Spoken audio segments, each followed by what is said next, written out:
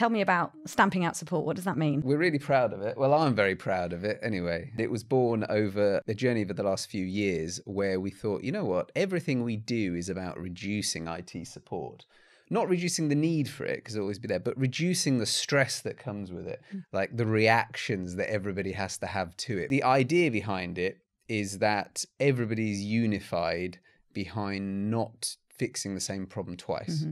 And everything we do as a business has that guiding vision that you only want to solve an annoying problem once.